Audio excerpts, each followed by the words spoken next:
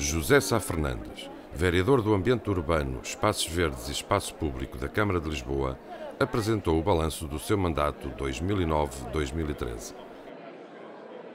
Assistiram amigos de sempre como Delgado Domingos, Manuel Raposo Magalhães e Ana Prata. Gonçalo Ribeiro Teles, autor do projeto do Corredor Verde do Monsanto, também marcou presença e recebeu um agradecimento especial pela amizade desde a primeira hora e pelo apoio na concretização de um sonho de mais de 40 anos, agora tornado realidade. Sá Fernandes salientou o apoio que teve neste mandato, apresentou alguns indicadores e lembrou obras emblemáticas que afirma terem contribuído para a melhoria da qualidade de vida dos lisboetas. O meu agradecimento por uh, termos conseguido fazer muita coisa uh, com um único objetivo, que foi prestar o melhor serviço público possível à cidade de Lisboa.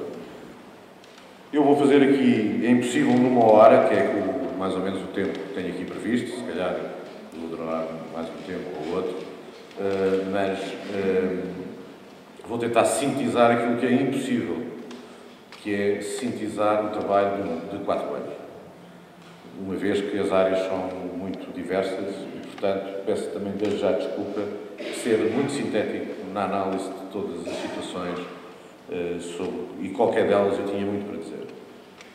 Mas começando então pelo agradecimento da, uh, principalmente aos serviços da Câmara, e aqui incluo desde as chefias ao trabalhador, ao cantoneiro, ao homem da oficina, uh, ao coveiro do cemitério, os meus agradecimentos pelo trabalho, porque foram quatro anos também muito difíceis, face à situação económica do país eh, e também à situação eh, com que eh, este Executivo, há seis anos, apanhou a Câmara Municipal de Lisboa, ou seja, com grandes dificuldades económicas e com grandes problemas para prestar aquilo que acho que prestámos estes quatro anos, que foi o serviço público aos lisboetas.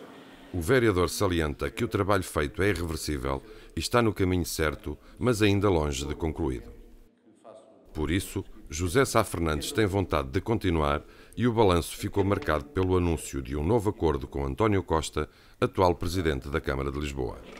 E é por este trabalho, e foi por este trabalho, para terminar, que, eh, que já não tem a ver com o balanço do mandato, mas tem a ver comigo. E é exatamente porque eu sinto que este trabalho foi bom. E porque eu sinto que este trabalho foi importante para a cidade de Lisboa.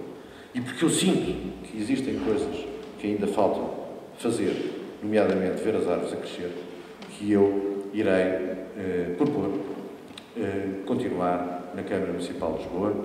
Eh, se para o efeito, irei fazer eh, um acordo político com o Dr. António Costa na próxima segunda-feira, ao meio-dia e meia, porque sinto que, eh, eh, que que ainda faltam aqui algumas coisas. ainda, faltam, ainda faltam aqui algumas coisas.